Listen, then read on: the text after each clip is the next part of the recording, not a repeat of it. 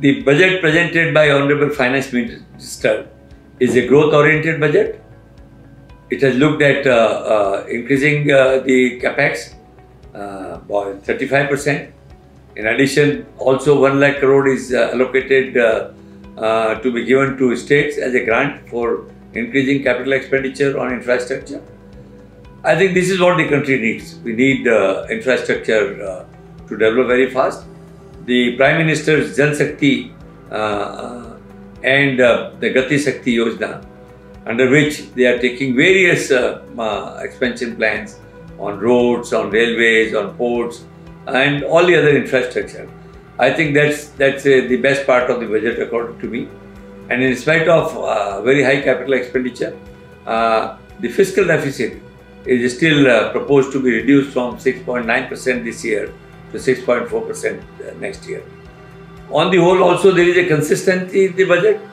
The uh, not many changes have been done at all on the taxation front, which uh, is a good omen. Also, there has been uh, relief given uh, on the you know trust creation with the assessees, where the assessees can even after two years, within the two years of uh, the filing return, can change their returns if uh, they find that some uh, uh, income according to them as, as uh, left to be disclosed, they can still disclose it. So I think this is a good step for creating uh, the trust between the government and the taxpayers. Uh, I think overall the market uh, impact of this in long term would be positive because there is nothing, uh, uh, you know, this thing like in spite of the elections coming in uh, many states, the budget is not uh, populist, which is what uh, you know people were feared that uh, there could be a lot of populist things. I think the government is working on very practical grounds and also long-term basis.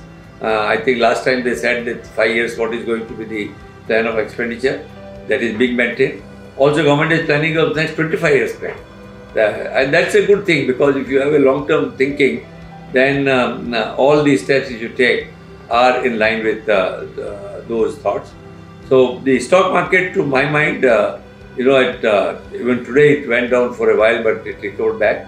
One day is obviously not an indication. In long term, I think this will help uh, uh, uh, the capex to grow, and therefore the infrastructure companies, the steel, cement, capital goods, all these will grow, and there is a cascading effect of growth on all the other company.